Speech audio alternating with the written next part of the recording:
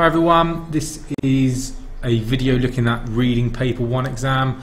I am recording this about half past three um, the day before the exam. So this is going to be a very quick video looking at some um, quick tips, final tips for you to use in your exam. I will try to keep the video as short as possible, so I'm going to be very quick.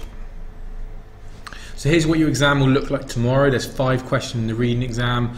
You'll start by getting a little bit of an overview of what the story is about. Remember, you're getting a page and a half out of probably a 300 page book. So they'll give you a little introduction.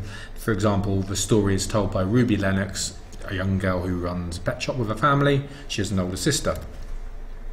Question one will always be the search and find question. So we're going to, look, we're going to go into detail on these, so I'll quickly go through them. So search and find is five marks. Then we've got an impression question for five marks how question, two how questions for 10, and then the evaluation one at the end.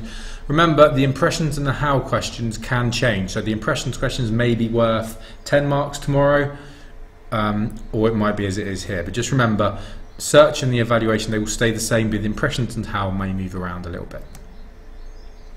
So question one is finding information. It's a very easy question. It's, it's meant as an introduction to the exam. First thing, really clear is read lines 1 to 7 that means just that. So what I would do in the exam tomorrow is I would uh, read your exam paper and with a pen or a highlighter I would put a box around 1's line to 7 that means you know your answer must become within that little box.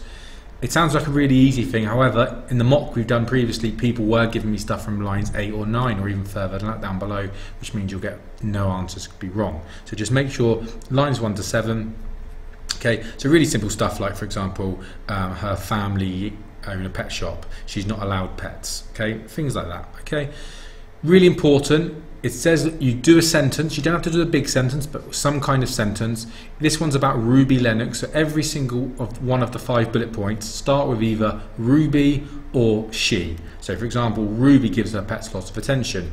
She wants to run a pet shop. She thinks it's her future. She's not allowed. So if it's about a girl or a woman, put the name of the woman or she. If it's about a boy, say if the character was called Tom Lennox, we'd put Tom gives his pets lots of attention. He. Starting with that will make it really clear. For example, if you just put if you just put, for example, parrot, you're not going to get the mark. So just do a little sentence to make sure you get the mark. Question two, in this case, is an impressions question. So what impressions does the writer create of the Lennox family in these lines? It's worth five marks. Really, really important. Remember this, five mark equals five minutes. So if it's a five mark question, five minutes, you've got to move on. The, the, main way people do not do well in the exam is they don't finish it. So remember to yourself, five minutes is five marks. If it's a 10 mark question, you're looking to 13, 15 minutes. You've got to be strict for yourself tomorrow. If you've not done, and um, if you've not finished the answer after five minutes, you move on. In a five mark question like this, we're looking at two PEs in a 10 mark question, we're looking for four or five or six. So impressions basically means a kind of view you might have of a place or person. So in this question, we're looking at what you think from reading these lines, and just these lines, you think of the Lennox family. It might be tomorrow. It might be about just one of the uh, one person, or it might be about a place. So it might be read this and tell me what impressions you get of Paris, for example. So it means a kind of view you have. So um, I talked about my students yesterday about uh, the the person Stephen Bear, who's on things like Ex on the Beach. What impressions you got? And you were saying things like stupid, arrogant, things like that. Try to keep your impressions simple. So for example, I think the family are happy, brave, scared, competitive, negative, selfish. It's focused on your response to the text. So you can say anything you want about the family as long as you back it up with a quote. So in the test, in the exam, questions two, three, and four, we're looking at terminology. What does terminology mean? It means these things here. You can talk about all of this in your exam. However, I would be looking at just the red. If you don't know at this stage, the day before the exam, what a simile is, what a metaphor is, forget about it. If you can revise it tonight, great. If not, just concentrate on the red things and say why they've been used by the writer. So for example, every noise put him on edge. Maybe my impression I get there is the character is worried, but he pressed on, or it means he's determined because he's carried on doing what he was doing. So this is a five mark question. What I've done is I've picked out three random quotes from the text and then we're just going to talk about what impression we get. So, but we're going to use this structure. So the structure we're going to use is one impression I get of the family is, for example, they're not happy, then the quote, then this verb adjective shows the reader. So I just let's look at one for example. Mum took a double dose of sleeping pills and dropped into oblivion. So what does that say about the mum? Well, I would say it says she doesn't really want to spend time with her family. That's the impression. Okay, with the quote, okay, you can pick two parts of the quote. We could say the, the double dose of sleeping pills. So she's not just taking sleeping pills, she's taking a double dose. The adjective double here tells us she's really, really trying to get away from the family. She's almost taking a, an extra um, part of her med- medicine to make sure she's not around. And dropped into oblivion. So the noun there is like she doesn't just want to drop into a sleep. Oblivion makes it sound like she wants to be completely unaware and completely unconscious. Okay, again, the one below, I was playing Scrabble with myself. What impression do we get of the girl? Well, she's playing a game she normally plays with a few people on her own. She's talking to her teddy, so probably we think she's getting lonely. But how are we going to put that into a PE? So basically, the PE will be the impression we get, the quote, and then explain it. So, for example, one impression I get is they don't spend a lot of time together. The repetition of the family doing different things as usual suggests this is a common thing for them. Another impression I get is the mother seems unhappy.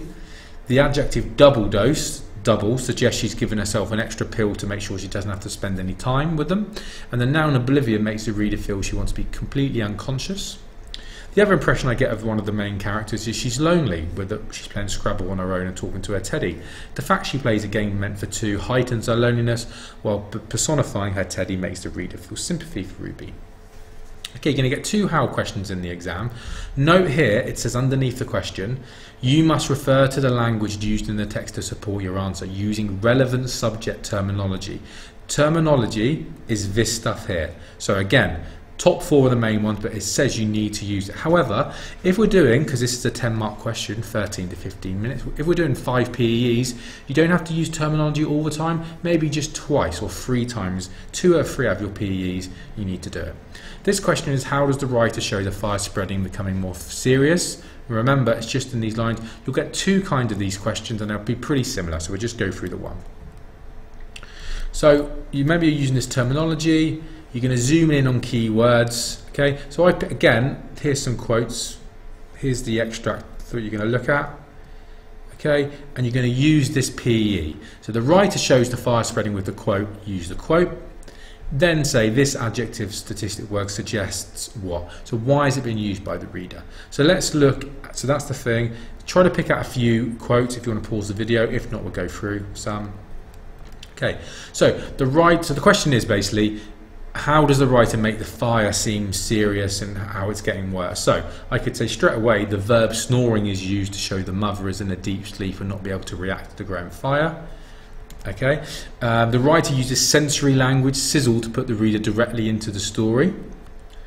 The so the writer says the energetic flame. The adjective energetic suggests the flame is vigorous and full of life. The writer says there's no stopping the flame and it greedily gobbled everything in its path. The adverb greedily tells the reader the fire has a strong desire to devour everything.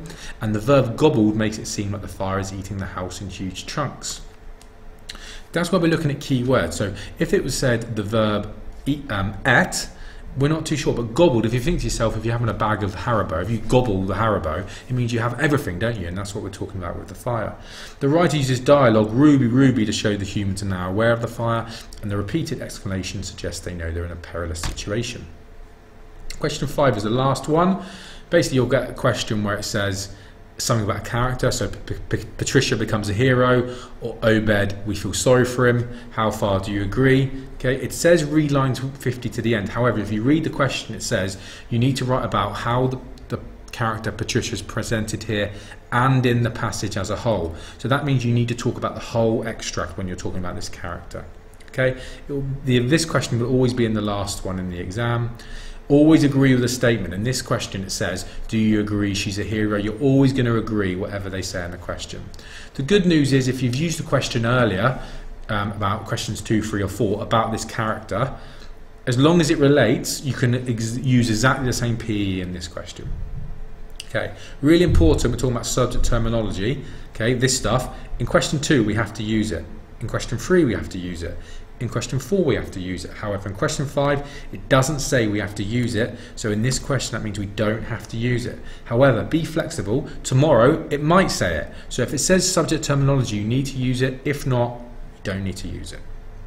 Teacher tip, rephrase the question. It says here, how far do you agree she's a real heroine? Rephrase the question and say, do you think she's a hero? Yes, but what words or phrases tell us we're meant to know she's a hero? How do you get top marks? Remember, you're talking about the whole extract. So you could talk about how the character has changed. We're not one dimensional. So if you comment that maybe at the start she seems quiet and at the end she seems really heroic, that's going to impress the examiner. Okay, so remember that this is the question. I picked out two random quotes. One of them, it's all right, the fire brigade will be here soon. She says that. And then it says, Patricia swings herself off the windowsill and onto the drain pipe. Here's the structure you should use. I agree that Patricia is a hero when it says, give a quote, and then say, this suggests. So pause the video, maybe pick out one of the quotes and think to yourself, why does that make her a hero? Look at my examples. We see she's a hero when it says it's all right, the fire brigade will be here soon. This suggests she's looking after people and trying to make them feel better. Next one, she almost seems like she's a superhero when she swings off the windowsill. The verb swings makes her seem acrobatic, amazing. I know I've used the word the verb there, the, the word verb there to describe it. I don't have to do that because I'm confident I'm using it. Okay.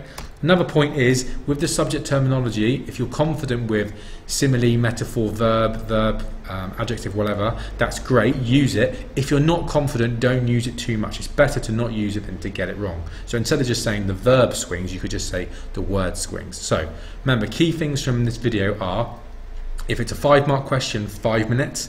If it's a 10 mark question, 13 to 15 minutes. If it's a five mark question, you're looking for two PEs. If it's a 10 mark question, you're looking for five or six PEs with as many quotes as you can. Time managing is a major part of this exam, so make sure you do it.